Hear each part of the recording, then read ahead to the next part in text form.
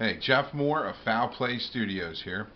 Um, we've had a lot of requests on how to use these new vermiculation stencils.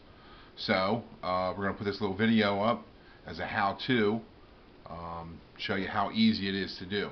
First of all, I'm using a Paasche H at about 40 pounds of pressure. Leave your paint a little bit thicker. Okay, real thin paint is not going to work for this. Leave your paint a little bit thicker, I'm using a very dark charcoal gray. I would say mostly black, a little bit of Nimbus gray, a little bit of burnt umber. Okay. I'm going to adjust my gun, medium spray.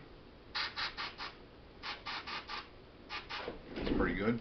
Another thing, you're going to need both hands to use the stencil. One to shoot the gun, one to hold the stencil on your bird. So I have a block of wood propped up there with a couple of shirts so my bird doesn't move. It's easier if you lean him up on his side like this a little bit. And once you get going with it, you'll see why. Just about like that.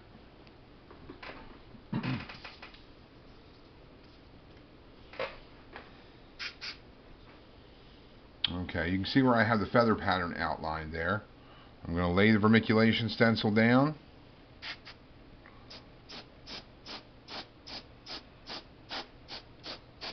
I'm spraying a little more intense on the edge so my vermiculation fades away.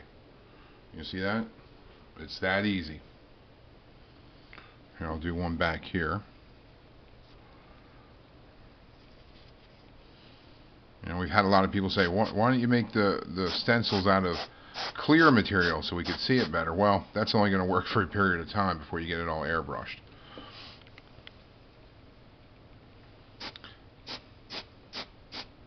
Now when I'm finished spraying this, I'm going to come back with a liner brush and put some white splits in there.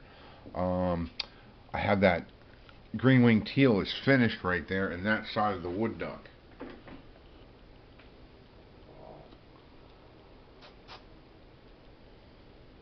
Shoot some more, Ben.